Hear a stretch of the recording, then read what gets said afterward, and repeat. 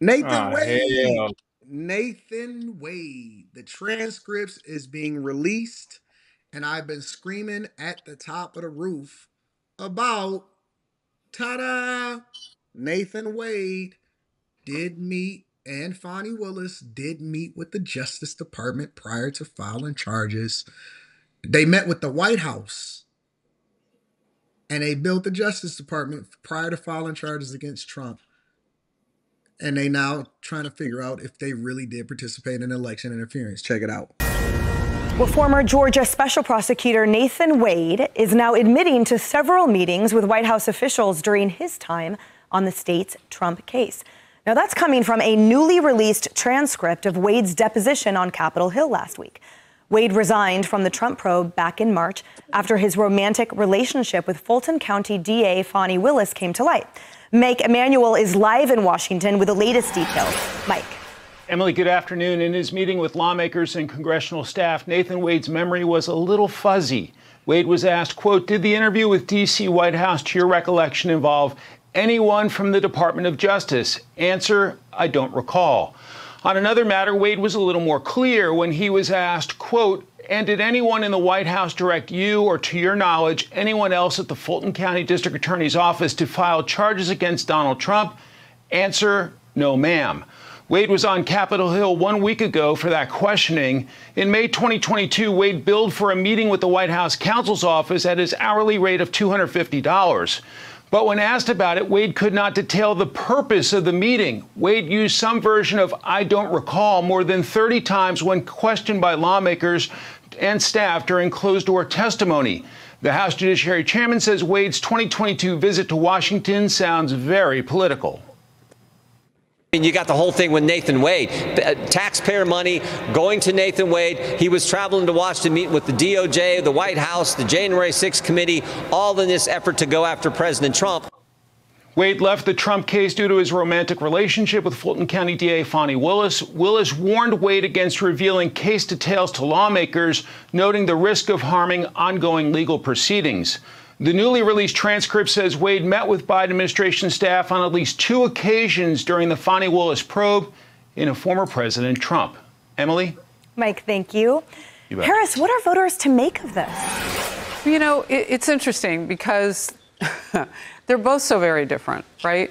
I mean, you've got Fani Willis and you've got her lover, and the only two things that they have in common was take down Trump, and they, they tried to do that. I, I'm not so sure that the Justice Department shouldn't have jumped in here early and taken a real good look at this. Because I want to know is this happening in other places around the country? And with him now bringing forth information so late in the game, why didn't we know this before? And why is everything always right before an election? I mean, it's important to know what is going on, but was this legal warfare? Is that really close to, you know, really truthful? It looks like it was, in fact. It looks like we could have used these receipts a while ago. So why is the DOJ involved? This is a presidential candidate that this had to do with. Which, by the way, I mean, we wouldn't get that attention from the DOJ, but shouldn't somebody who's running for the country?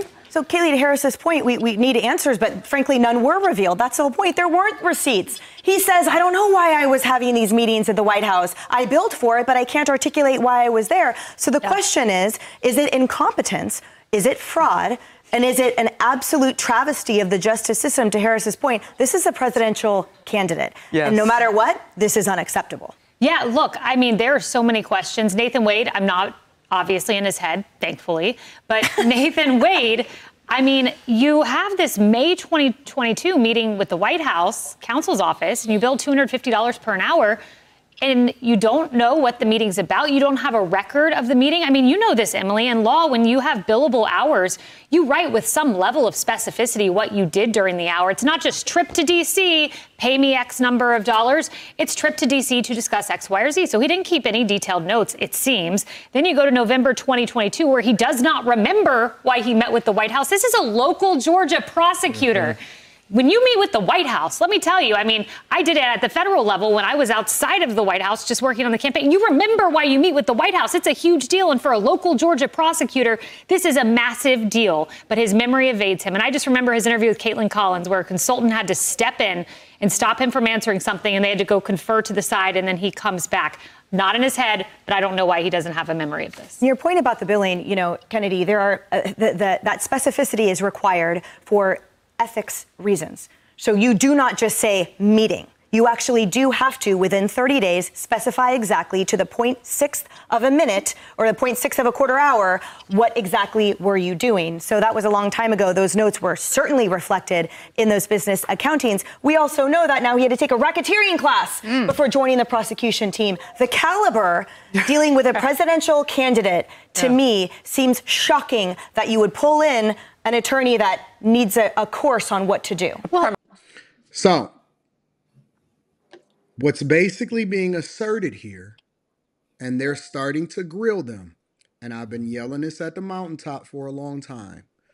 Fani Willis and Mayor Andre Dickens down in Atlanta, it is public record that they met with the White House vice president, the White House, prior to filing charges against Trump in Georgia. Now it's being revealed that Nathan Wade, who obviously was her lover and to some extent maybe just recently was still her lover because they both appeared when her daughter had to get arrested in the first place and it was on a, you know, the cop cam or whatever, that he billed the Justice Department, the Justice Department that then advises whether or not you should file charges against Trump in the first place. And he had to take a racketeering course before before even participating in this case in the first place. And so this is breaking news.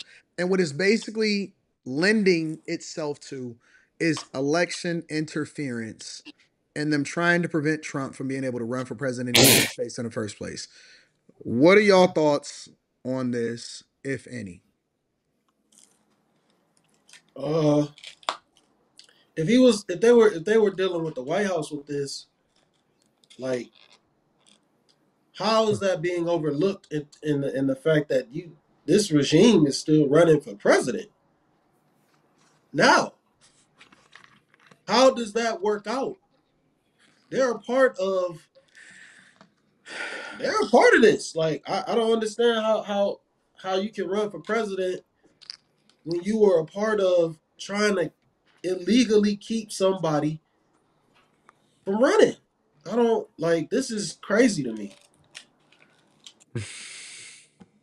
I don't, I don't, I don't think this is new news. I, I think we already knew that they met with the White House, and by that nigga saying he don't recall shit, we didn't really learn, learn nothing. How do you not recall? I got That's invited. that's I got like invited to. I got invited just to meet with Trump. I remember every single word that was said. Everyone. He's lying. It's clear, like, right.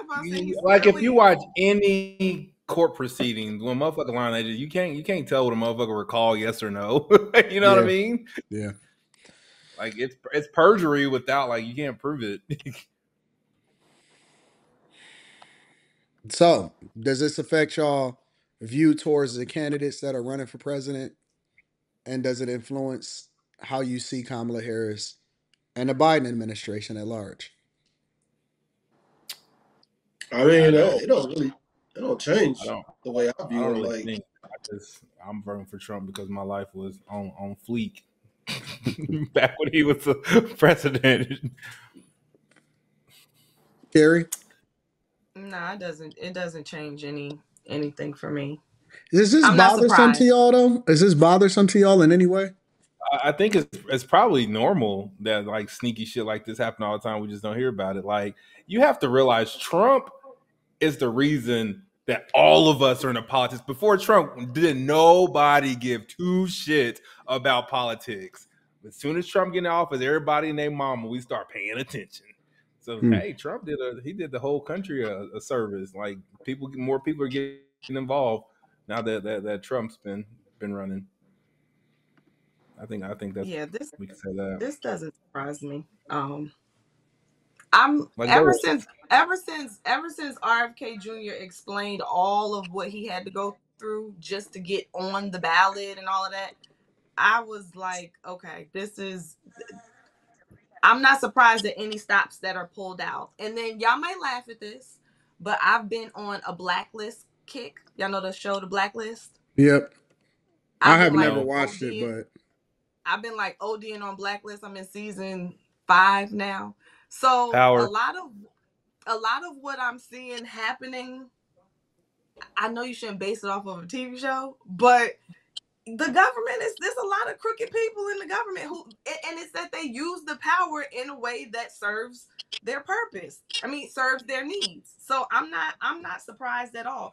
And the, as gullible as people are today, you can do all of this right in front of people's faces. Like you can just do it seems like you could do almost whatever and somebody is still going to advocate on your behalf. Somebody is still going to say that you're doing fine, you're doing great. So no, I'm not surprised at all. Well, even even after them two got caught banging, they still be hanging out together and shit, openly in public. Like even her demeanor on the on the stand, I was like, "Oh, wow, she is Like she was, the, she thought she was the king bitch in that motherfucker with her with her little fat ass. Okay. yeah. Not surprised. you know, for me, I don't know how people can continue to ignore who this wor- who this woman is and what she's selling y'all as far as what her image really is. When, in my opinion, this is a clear case of election interference, which is and got to be one of the most uh, because we all know that certain things happen behind the scenes, but to get caught so openly and blatantly with it, and for people to turn a blind eye and, and ignore it, and to know that people will still vote for it, and they don't even know who this woman is outside of what she's done, and I think that this is one of the biggest things that go into it. Is weird to me. It's wild to me. How can people just completely ignore? Um, I don't think they care. Like there's certain people, just like Jamisha, she don't care anything about Kamala. All she cares about is she's a black woman. Hey, listen, listen. That that that's the main thing that gotta stop. That's that has to stop. Cam, Kamala, Kamala, whichever her name is, she's not black. Like we can't even like you. That has to stop. You can't entertain that shit, man. Like this woman is posing. She's straight up posing. She's not black. She only wants to be black because she wants those votes. She wants black women to recognize her and identify with her. She don't give a fuck about them. Period. It just goes back to I'm just going to keep saying the same thing over and over and over again. Politicians are not to be trusted. I do not give a fuck who it is. Like all of this shit that we're talking about is all corruption. Literally, it's all corruption. We're just sitting there, just like, and, and it's normal. No, man, this shit is dead ass fucking wrong, man. Like, I don't even know how this woman can run for president. I don't know how Biden can run for president. Like, they were in the what they they had meetings with the White House, and everybody just like, oh, okay, it's cool. What? I don't think anyone said, "Oh, okay, it's cool." I don't. I don't think. No, that's what happened. Quinn, Quinn, Quinn, man. Listen, you start talking to these people, they're not gonna give a fuck about that. If you start telling, if you start breaking this shit down, and you like, well, you know, like they really trying to, they really trying to keep this dude from running for president illegally. They they ran a whole scheme. You think people are gonna be like, no, that's not true. Well, all the facts is there. I They're don't think like, people oh, care. don't care. I don't think that people don't care. care. They're not gonna give a fuck. All they're gonna do is say, "Hey, I vote Democrat." That's all they're gonna say. I vote Democrat, and then they go and they're gonna pin her in. Yeah. Well, when I got one of these little things the other day from this guy from Planned Parenthood, You got I something mean, from not him, Planned but the Parenthood? off. Seriously? What? Yes. Can y'all see it? Seriously? Wait, That's where's the camera? crazy. What does it say? Hold on, let me see We something. can. We can see We it, must hold on, girl. wait, wait, wait, wait. I'm sorry. Say, no, no, say it, show it, show it, show it. We I'm must trying to find elect my camera. champions of reproductive freedom up and down. Oh, Jesus Christ. And then it gives- Wow, that's crazy. and then right That's here. another thing, though. That that's that's that's a That's genocidal. insane, bro. That's a that's a genocidal agenda So not that I right there. was Planned Parenthood. considering her, but this one right here, this was like, yeah, no bueno for real. Like I'm, I want my Trump hat. Like I'm, I'm, I'm like, because That's crazy. Because I'm I really started delving deeper into this whole reproductive thing because because what I'm noticing is people say reproductive freedoms, but I'm like, what what exactly are we talking about here? Are we talking about abortions? Are we talking about IVF? Yes. Because I hear them Yes. I hear them talking about IVF. So I delved in deeper. And I hear them bringing up these stories about women who, you know, they they died or they they got hurt or whatever because they couldn't get the abortion that they needed and they want to have kids and all of this. And I did more research. First of all, most of the abortions that women have are not because it was a life um threatening situation. That's correct. And you know. and when I started to look up, okay, what what is really happening in the states? There are a few states who have stricter, you know, like laws, but I couldn't find a state where it was totally off the table 100%. Mhm. Most of the states that had the real, real strict laws were, you know, the the great, the um, incest or what have you. And then I'm like, so then what is the real issue here? Because if you look at it, Trump is saying the same thing. Like he's not saying no abortion, he's saying there should be a limit. When I went back to Roe v. Wade, there were limitations in Roe v. Wade. Roe v. Wade didn't allow Oh, for you is doing the, the Roe v. Wade didn't allow for you to have an abortion until you're, you know, nine months, you know, pregnant or what have you. And then I thought back in the day, and I'm gonna get a little personal with y'all. Mo, I would be hard pressed to name a female that I grew up with who did not have an abortion. And I can't, I can't, I can't think You said of what, Rita? women. Rita said facts. I can't think of a, and many more than one. I can't think of Rita said she can't think of. Hold on, wait, Carrie, because you listen to this. What'd you say, Rita?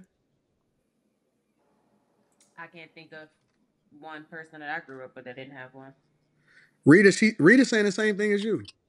yes. So y'all saying And that most young women or most women that y'all grew up with, or almost every woman that, y- to memory, probably had an abortion. had, Rita says she knows people that has had multiple. had me too. Me too. That was just the thing. Now, I do too. I don't know nobody. Not off memory, not that I know of. That's crazy. now, Okay, so now I know why they plan into playing into that demographic because they basically using it seriously using it as a form of contraception. they are seriously using it as a form of contraception. Oh, that's Right. crazy. And and I I vividly remember how how available Planned Parenthood was to us for abortions, for condoms, mm-hmm. for all different types of things, for lubricants, for like it was put in your face. And many people, many people took advantage of it in a lot of different ways. And I'm I'm gonna say this. I know this personally. That's as far as I'll go. I know this personally. And this goes back to what I was saying, Anton. Hopefully you can hear me. But this goes back to what I was saying, y'all, about some of the women who responded to Yada, I mean to what Anton was saying negatively, is probably because he's talking to them. So for me, this whole like abortion conversation, it hit it hit close to home because many of us were able to take advantage of things that were available to us. So it would be easy to say if you participated, then how dare you vote against it or be it being strict. But if you really take a look at some of your behavior and call yourself out and say, wait, I had no business doing stuff at that age. Other women had no business doing stuff at that age. So maybe if things were a little bit um tighter, if the reins were tighter, if the conversation about abstinence was better, if the conversation about uh, cherishing your body that God gave you was stronger, if people were not afraid to talk about how families should stay together, if people were not afraid to talk about not getting pregnant and make it very difficult for you to have an abortion, then maybe a lot of things wouldn't have went down that way.